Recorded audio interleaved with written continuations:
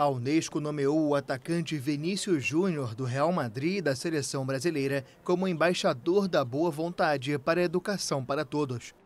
O anúncio foi feito nesta sexta-feira pela organização da ONU e pelo jogador.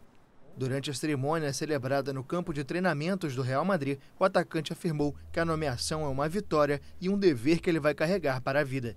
A diretora-geral da entidade afirmou que Vini é, além de um jogador excepcional, um homem comprometido desde muito jovem com a igualdade de oportunidades e um exemplo para toda uma geração. A organização da ONU, com sede em Paris, também destaca a luta do jogador nos últimos anos pelo acesso à educação para todos os jovens, por meio do Instituto Vini Júnior, que busca desde 2021 ajudar crianças e adolescentes brasileiros de bairros menos favorecidos. De acordo com a Unesco, 250 milhões de crianças e adolescentes no mundo não têm acesso à escola e 7 em cada 10 crianças não sabem ler nem interpretar um texto simples na idade de 10 anos.